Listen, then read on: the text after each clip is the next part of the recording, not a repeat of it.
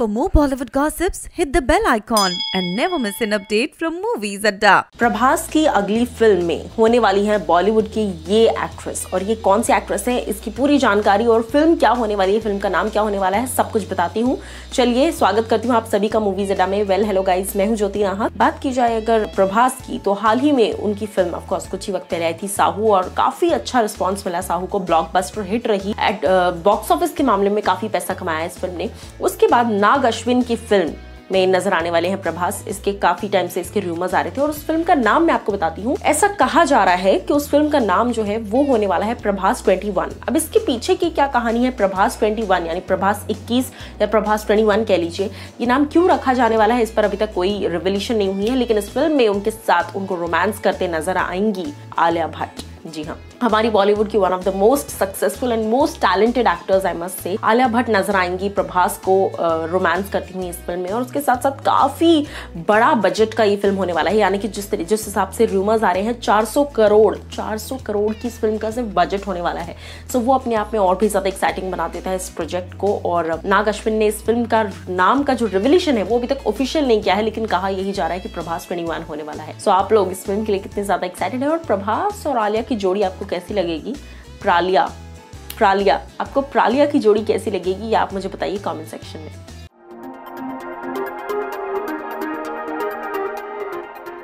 सो so guys जैसा कि आप सभी को पता है कि मेरी एक वीडियो अभी वायरल हो चुकी थी, जिसकी वजह से बहुत सारी मिसअंडरस्टैंडिंग क्रिएट हो गई।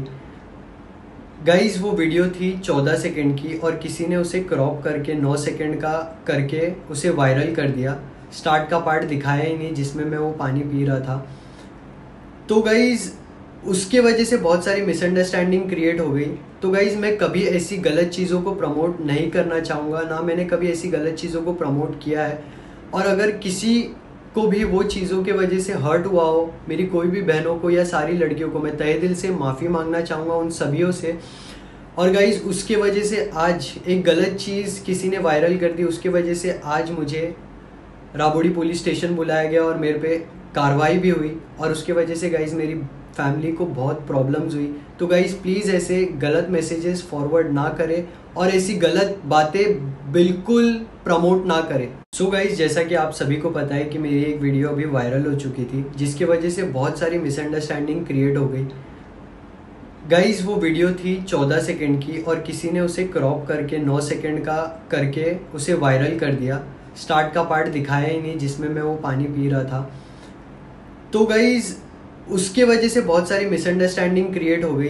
तो गाइज़ मैं कभी ऐसी गलत चीज़ों को प्रमोट नहीं करना चाहूँगा, ना मैंने कभी ऐसी गलत चीज़ों को प्रमोट किया है। और अगर किसी को भी वो चीज़ों के वजह से हर्ट हुआ हो, मेरी कोई भी बहनों को या सारी लड़कियों को, मैं तय दिल से माफ़ी मांगना चाहूँगा उन सभी से।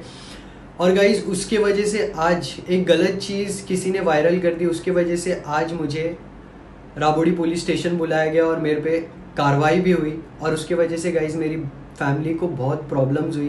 तो गाइज़ प्लीज़ ऐसे गलत मैसेजेस फॉरवर्ड ना करें और ऐसी गलत बातें बिल्कुल प्रमोट ना करें।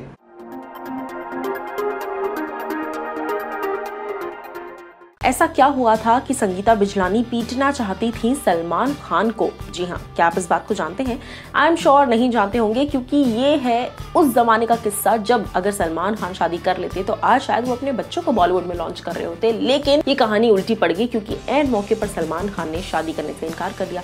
क्या है ये पूरा माजरा? चलिए आपको बताती हूँ। Well hello guys welcome to movies Adda मैं हूँ ज्योति नाहक सलमान खान एक ऐसे बॉलीवुड के एक्टर है जिनको आज भी most eligible bachelor most handsome eligible bachelor कहा जाता है और इनशाला सच भी है। ऐसे में एक समय ऐसा था, यानी कि 27 दिसंबर 1994 वो डेट थी, जिस दिन अगर सलमान खान शादी कर लेते तो आज माहौल कुछ और ही होता। आज शायद वो शादीशुदा होते और उनके बच्चे होते जिनको वो लॉन्च कर रहे होते बॉलीवुड में। लेकिन सलमान खान ने उस वक्त शादी करने से इनकार कर दिया। यहाँ तक कि उनकी सगाई हो चुकी थी, शादी के कार्ड बढ़ चुके थे, संगीता बिजलानी के साथ। ऐसे में एक दिन संगीता बिजलानी जब शादी के कार्ड बांटने के लिए जब संगीता और सलमान को जाना था अपने गेस्ट्स के घर। ऐसे में सलमान खान उन दिनों काफ़ी मनमौजी किस्म के थे। उन्होंने भले ही डिसाइड तो कर लिया था कि उन्हें अपने से पाँच साल बड़ी संगीता पिछलानी के साथ शादी कर लेनी चाहिए, क्योंकि काफ़ी टाइम से दोनों रिलेशनशिप में थे। लेकिन उनका दिल इस बात के लिए हाँ नहीं कर रहा था। और ऐसे में सलमान खान की मुलाकात उन दिनों हुई सोमी अली से, जो कि पाकिस्तान से इंडिया आई थी एक्ट्रेस बनने के लिए बॉलीवुड फ़िल्म से अपना लक आजमाने के लिए। और सोमी अली के साथ कहीं ना कहीं सलमान खान काफ़ी ज़्यादा क्लोज हो गए।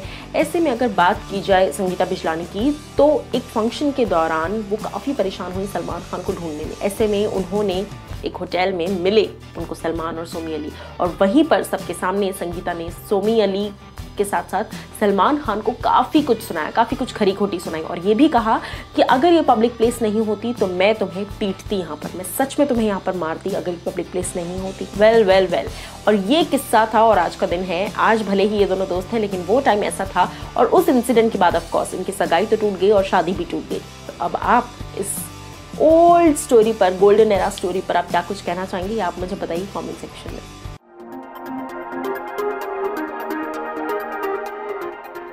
दुनिया पर मुसीबतों का साया मंडरा ही रहा है और खास करके इस वक्त इंडिया पर, क्योंकि एम्फा साइक्लोन ने दस्तक दे दी थी और इस पर शाहरुख खान ने अपना रिएक्शन दे दिया है। क्या कहा है शाहरुख खान ने? चलिए आपको बता देते हैं। Well hello guys welcome to movies Adda मैं हूँ ज्योति नाहर। शाहरुख खान का बंगाल से एक अलग ही नाता है, ये हम सभी जानते हैं। कोलकाता नाइट राइडर्स को लीड करते हैं शाहरुख खान। उनकी टीम है और ऐसे में शाहरुख का बंगाल आना जाना लगा रहता है। हाल ही में शाहरुख खान ने ट्वीट कर इस बात की जानकारी दी कि वो बहुत ही हॉलो महसूस कर रहे हैं, बहुत ही ज़्यादा उन्हें तकलीफ़ पहुँच रही है, जब से उन्होंने एम्फा साइक्लोन के बारे में सुना है। सिर्फ़ बंगाल ही नहीं, बल्कि उड़ीसा भी काफ़ी हद तक डैमेज हुआ है। और साथ ही साथ शाहरुख ने अपने कंडोलेंसेज दी उन सभी लोगों को जिनके ऊपर कुछ तकलीफ़ आई है। और उसके साथ साथ शाहरुख ने यह भी कहा कि each and every person is my own and it feels very personal it feels very hollow और उम्मीद करता हूँ कि ये सब जल्द से जल्द ठीक हो जाए। शाहरुख खान ने तो अपनी तरफ़ से कंडोलेंसेज मैसेजेस दे दिए हैं। आप क्या कुछ कहना चाहेंगे शाहरुख खान के इस स्टेटमेंट पर या आप मुझे बताइए कमेंट सेक्शन में?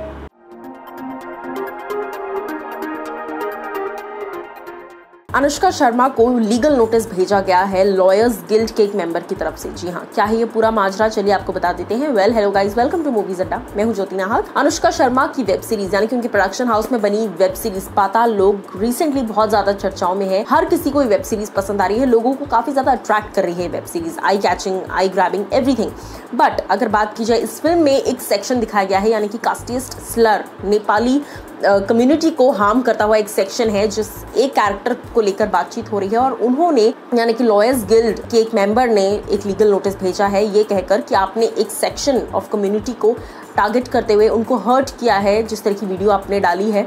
और उसके साथ साथ उन्होंने ये भी कहा कि हम उम्मीद करते हैं कि इसे हटाया जाए। अब ये कहीं ना कहीं एक बहुत ही शॉकिंग चीज़ है बिकॉज़ वेब सीरीज़ रिलीज़ हो चुकी है और उसके बाद इस तरह का स्टेटमेंट देना और इस तरह का एक इल्ज़ाम लगाना कहीं ना कहीं वेब सीरीज़ पर काफ़ी ज़्यादा हार्म पहुँचा सकता है। हालाँकि लोगों को काफ़ी ज़्यादा ऑलरेडी ये चीज़ पसंद आ रही है वेब सीरीज़ पसंद आ रही है, पाताल लोग अब आप इस चीज़ पर क्या कुछ कहना चाहेंगे, ये आप मुझे बताइए। लेकिन अनुष्का शर्मा और उनके ब्रदर दोनों को ही लीगल नोटिस भेजा गया है क्योंकि उनके प्रोडक्शन हाउस की वेब सीरीज़ है। सो अभी तक इन दोनों में से किसी ने भी कुछ रिस्पॉन्स नहीं किया है। आप क्या कुछ रिस्पॉन्स करना चाहेंगे, ये आप मुझे बताइए कॉमेंट सेक्शन में।